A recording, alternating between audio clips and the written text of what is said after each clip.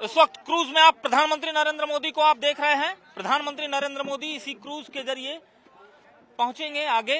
नमो घाट तक का सफ़र उन्हें तय करना है। लोगों से जो क्रूज में हैं, उनसे मुलाकात करते प्रधानमंत्री नरेंद्र मोदी। और इस क्रूज के ज़रिए प्रधानमंत्री नरेंद्र मोदी नमो घाट का सफ़र जो है, वो तय करते हुए नज़र आएँगे। फ़िलहाल अब क्रूज के अंदर प्रधानमंत्री नरेंद्र मोदी जा चुके हैं। और प्रधानमंत्री नरेंद्र मोदी यहाँ से नमो घाट जाएँगे।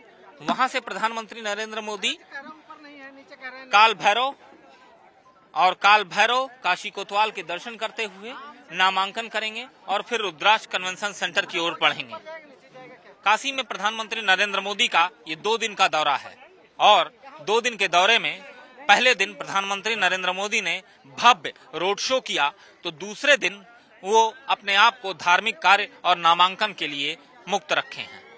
इंडिया डेली लाइव के लिए कैमरा पर्सन केसर के साथ अजस्र पीयूष शुक्ला। काशी।